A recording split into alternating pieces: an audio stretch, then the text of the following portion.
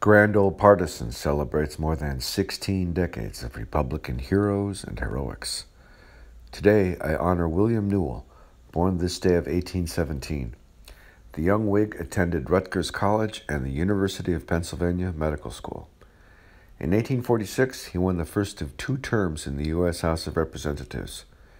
His chief accomplishment was establishing the United States Life Saving Service a federal agency later incorporated into the Coast Guard.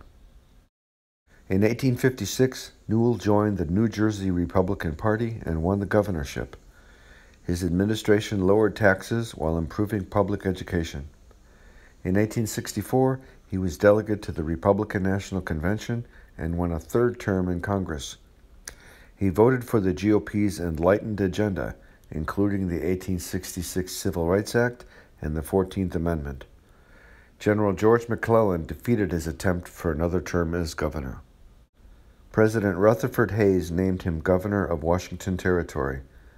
Newell remained at this position during the Garfield Arthur administration. In later years, he worked for the Bureau of Indian Affairs and was mayor of Olympia. Back to basics for the Republican Party is my civil rights history of the GOP.